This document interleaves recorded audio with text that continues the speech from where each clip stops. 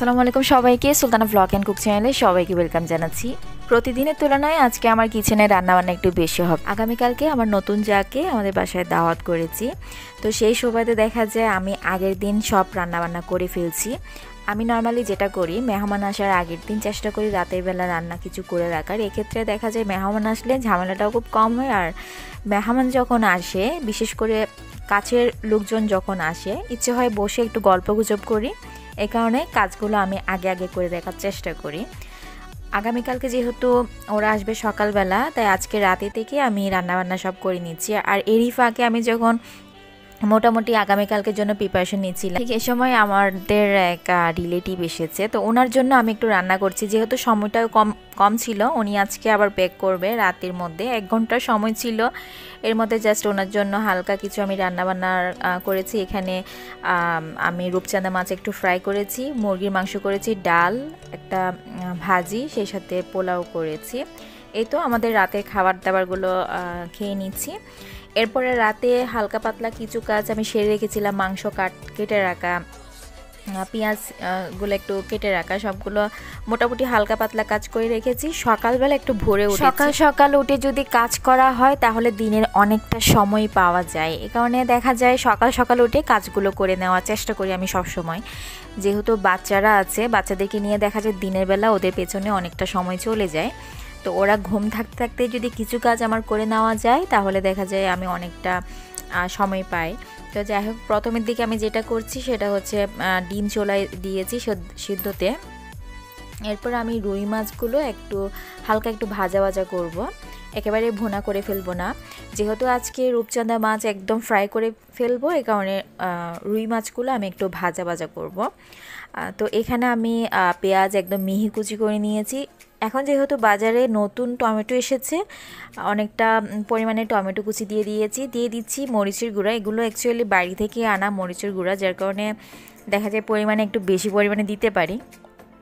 ঢাকায় আমরা যে মরিচের গুঁড়াগুলো খাই, সেখানে দেখা যেগুলো তুলনামূলক অনেক বেশি ঝাল থাকে, যার কারণে খুবই অল্প পরিমাণে দিতে হয়। তো বাড়ি থেকে যে মরিচের গুঁড়া আনা হয়, সেগুলো দেখা যায় ঝাল একটু কম থাকার কারণে একটু বেশি পরিমাণে দিলে ভালো লাগে। কালারটা খুব সুন্দর আসে। হলুদের গুঁড়া, লবণ সব কিছু দিয়ে একটু তেল দিয়ে মানে পরিমাণ মতো তেল দিয়ে আমি মাখিয়ে নিয়েছি সবগুলো। একটা পাতিলে হচ্ছিল না, যে এখন আমি একটা প্যানে আর একটা পাতিলে নিয়ে নিয়েছি আলাদাভাবে। খুব কম আছে, আমি এভাবে রান্না করে নিব। এগুলোতে দেখা যাবে আমি আর কোনো পানিও দিব না, এক্সট্রাভাবে আর কোনো তেলেও দিব না। জাস্ট যা কিছু প্রয়োজন সব আমি একসাথে দিয়ে ডাকনা দিয়ে রান্না করে ফেলি। যখন অনেকগুলো মাছ একসাথে রান্না করা হয়, তখন এইভাবেই মাখানোভাবে একবারে চুলায় দিয়ে দিই। রান্না করলেও কিন্তু খুব ভালো লাগে। তো যাই হোক, আমি দুই তিন মিনিট পরে একটু উল্টিয়ে দিচ্ছি। যখন এক পাশ পুরোপুরি হয়ে যাবে, তখন অন্য পাশ উল্টাতে গেলে কিন্তু ভেঙে যায়। এ কারণে এক পাশ যখন মিনিট দুয়েক হয়ে যায়, তখন অন্য পাশ উল্টিয়ে দিলে এটা ভালো থাকে।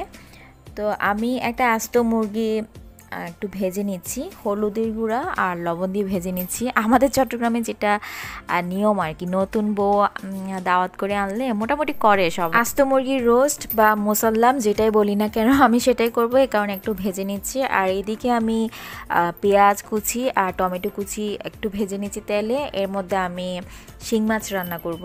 তো শিং মাছগুলো একটু ভাজা করে নিচ্ছি। যেহেতু আসলে পোলাওর পোলাও করব এরকম চিন্তাভাবনা, তো পোলাওর সাথে দেখা যায় ঝুল ঝুল করে মাছ টাছ খাওয়া যায় না। এ কারণে একটু ভাজা ভাজা করছি। মাছগুলো ভালো করে পরিষ্কার করে আমি ধুয়ে তারপর হলুদের গুঁড়া, মরিচের গুঁড়া, লবণ দিয়ে মেখে রেখেছিলাম। এখন আমি সেই মাখানো মাছগুলোই এখানে তেলে দিয়ে দিয়েছি। খুবই অল্প পরিমাণে পানি দিব, যে পানিতে জাস্ট মাছটা একটু সেদ্ধ হবে, এরকম আর কি, রান্না হবে। আর এদিকে আমি ছোটো মাছও রান্না করেছি। এটা কিন্তু আমার দেবর খুব বেশি পছন্দ করে। মোটামুটি মাছ রান্নার পর্ব শেষ হয়ে যাচ্ছে, আর আমি এখন মাংসগুলো রান্না করব। আর এদিকে হচ্ছে যেই আমি আস্ত যে মুরগিটা একটু ভেজে রেখেছিলাম, হালকা একটু ভেজে নিয়েছি যাতে একটু কালারটা সুন্দর আসে। এর মধ্যে আমি আদা, রসুন, পেঁয়াজ, তারপর বাদাম সবগুলো ভালো করে বেটে পাটায় বেটে নিয়েছে। আমার বাসায় যে খালাটা কাজ করে ও বেটে দিয়েছে। দেন এখানে আমি মরিচ বাটা দিয়ে দিয়েছি, কাঁচা মরিচ। অল্প পরিমাণে গুঁড়া মরিচ দিয়েছি যাতে কালারটা সুন্দর আছে, আসে। এরপরে হলুদের গুঁড়া, ধনিয়া জিরার গুঁড়া এলাচ, দারচিনি, তারপর লবণ সব কিছু দিয়ে ভালো করে মিশিয়ে নিচ্ছি। এর মধ্যে আমি প্রায় এক কাপের মতো দিয়ে দিব টক দই। সেটা দিয়েও ভালো করে মিক্স করে নিব।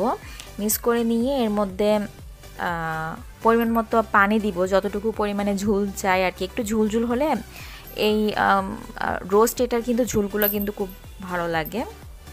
আর এদিকে আমি চিকেন ফ্রাই করার জন্য চিকেনগুলো মোটামুটি ম্যারিনেট করে মানে সিদ্ধ করে নিয়েছিলাম। আদা, রসুন আর কাঁচামরিচ বাটা দিয়ে তারপর একটু লবণ দিয়ে সিদ্ধ করে নিয়েছিলাম। মোটামুটি আমার কাজ কিছুটা গোছানো। এখানে খাসির মাংস একটু ভিজিয়ে নিয়েছি।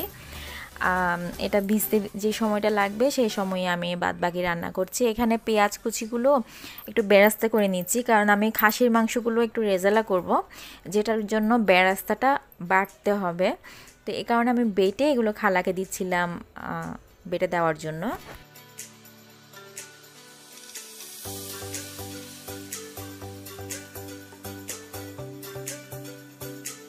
এখানেও মরিচের গুঁড়া, হলুদের গুঁড়া, লবণ দিয়ে আমি রূপচাঁদা মাছগুলো একটু ভেজ ম্যারিনেট করে রেখেছিলাম। সেই সাথে এখানে আদার রস আর রসুনের রস দিয়েছি। আদা, রসুন যেগুলো ব্ল্যান্ড করা ছিল, সেখান থেকে জাস্ট আমি একটু রস চিপে এই রূপচাঁদা মাছ ফ্রাইতে দিয়েছি। এটা কিন্তু খুবই ভালো লাগে টেস্টটা যখন ম্যারিনেট করা থাকে।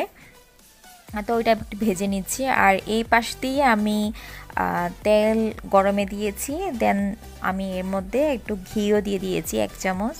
এখন আমি প্রায় দেড় কাপের মতো পেঁয়াজ কুচি একটু ভেজে বেরাস্তা করে নিচ্ছি। এটা দিয়ে আমি যে আস্ত মুরগি যেটা রান্না করেছিলাম, সেটাই এখন বাগার দিব।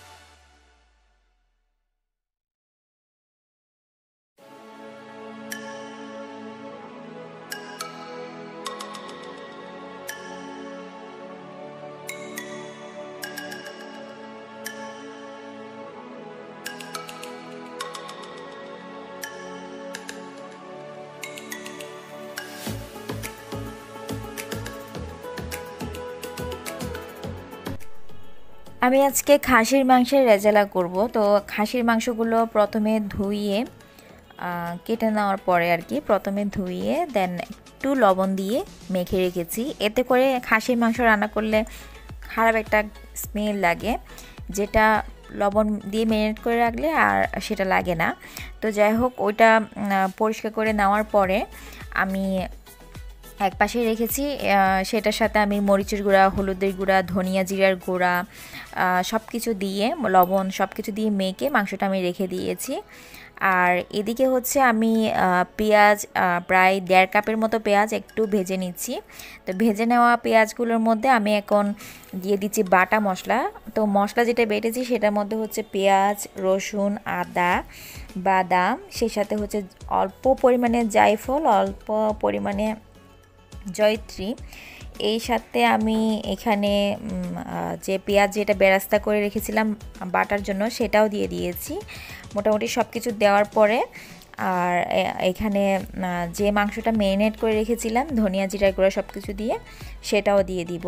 আর হ্যাঁ এর মধ্যে কিন্তু আমি টক দই দিব। প্রায় তিন চামচের মতো আমি টক দই দিচ্ছি। এক কাপের চেয়েও কম, এক কাপ দিব না। তো এটা দিয়ে দিচ্ছি। দিয়ে ভালো করে একটু কষিয়ে তারপর আমি যে মাংসটা ম্যারিনেট করে রেখেছি সেটা দিয়ে দিচ্ছি। দিয়ে একটু ভালো করে কষিয়ে আমি জাস্ট অল্প পরিমাণে পানি দিব। মানে মাংসটা রান্না হতে যতটুকু পরিমাণে পানির প্রয়োজন হবে ততটুকু পরিমাণে আমি পানি দিয়ে এটা রান্না করে নিব।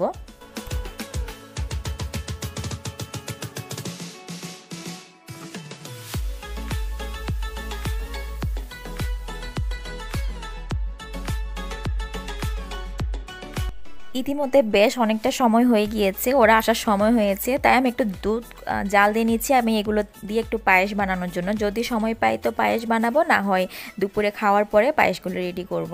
পরে আসলে ক্যামেরার সামনে এসেছি। তো এই তো আমার ফাইনাল হচ্ছে কিচেনের লুক মশলা বাটিটা এখানে রেখেছি।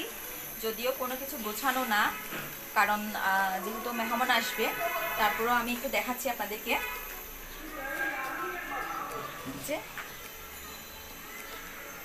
যে ইউটেন্সিলটা এভাবে রেখেছি ড্রয়িং রুমের এই লুকটা আপনারা মোটামুটি সবাই অনেক পছন্দ করেছেন। যদিও এখানে আরও অনেক কিছু দিয়ে সাজানোর ইচ্ছা আছে। সামনে যখন সাজাবো তখন আপনাদের সাথে শেয়ার করব।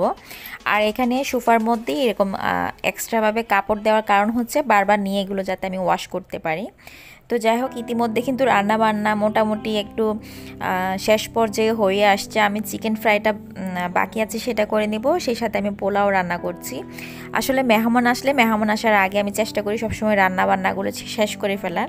সেটা আমার জন্য যতই কষ্ট হোক না কেন একটু সকাল সকাল উঠে সেটা হতে পারে পাঁচটা বাজে বা আরও আগে, সে তাতেও কিন্তু আমি রাজি। কারণ মেহমান আসলে দেখা যায় মেহমানকে বসে রেখে এত কাজকর্ম করা যেটা আমার একদম কখনোই পছন্দ না। যদি রাতে পারি তো রাতে করে রাখি, না হয় পরে করি।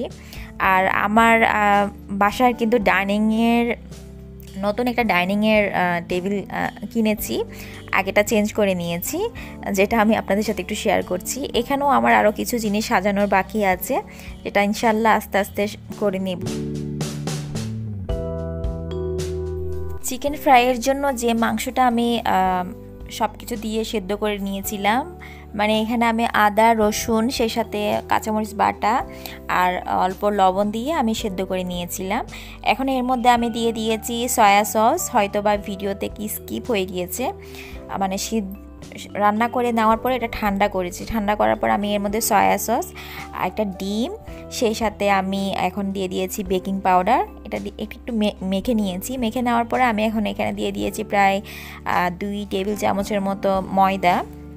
এরপরে আমি আন্দাজ মতো দিয়ে দিচ্ছি বেসন। বেসনটা দেওয়ার নির্দিষ্ট কোনো পরিমাপ নেই। এটা যতটুকু পরিমাণে লাগে। একটু আটালো টাইপ হলে মাংসটা তখন দেখা যায় ক্রিস্পিও ভালো হয়। বেসনটা মোটামুটি দেওয়া যায় যতটুকু পরিমাণে লাগে। আমি ভালো করে দিয়ে যখন দেখছি এটা নর্মাল একটা ব্যালেন্সে এসেছে, একটু আটালো টাইপ হয়েছে, মাংসের গায়ে লেগে আছে, তখনই আমি বেসন দেওয়া অফ রেখেছি আর কি। প্রায় দুই কাপের মতো বেসন এখানে প্রয়োজন হয়েছে। আমার এখানে যে মাংসগুলো সিদ্ধ করেছি মুরগির, সেখানে দুই কাপের মতো বেসন প্রয়োজন হয়েছে। যাই হোক, এটা ম্যারিনেট করে রাখার পরে এদিকে কিন্তু পোলাওটাও হয়ে গিয়েছে। আমি দমে বসিয়ে রেখেছি। তো আমি ডুবু তেলে এখন চিকেন ফ্রাইগুলো করে রাখছি। ইদানিং কিন্তু সব বাচ্চারা চিকেন ফ্রাই কিন্তু খুব বেশি পছন্দ করে। আমার মনে হয় আমার বাচ্চারা না। সব বাচ্চারাই পছন্দ করে। তো সেক্ষেত্রে দেখা যায় আমরা এভাবে মেখে ডিপ ফ্রিজে কিন্তু ফ্রোজেন করে রাখতে পারি। যেভাবে আমরা রোল বা যে কোনো ঝাল বা মিষ্টি যাই বলি না কেন, আমরা যেভাবে ফ্রোজেন করে রাখি প্লেটে বিছিয়ে একটু শক্ত করে দেন আমরা পলি ব্যাগে করে রাখি। চিকেনগুলো কিন্তু সেম ওভাবে রাখা যায়। যখনই খেতে মন চাইবে তখনই কিন্তু বাচ্চাদেরকে এভাবে করে দিতে পারি বা আমরাও কিন্তু যে কোনো সময় করে খেতে পারি অথবা কোনো গেস্ট আসলো তখনও কিন্তু আমরা ইনস্ট্যান্ট এভাবে ভেজে দিয়ে দিতে পারি। ফাইনালি মেহমানের জন্য আমার রান্নাবান্নার আয়োজন আমার এখানেই কমপ্লিট আপনারাও সবাই ভালো থাকবেন, সুস্থ থাকবেন। আমাদের জন্য দোয়া করবেন। আজকে বিদায় নিচ্ছি। আল্লাহ হাফিজ।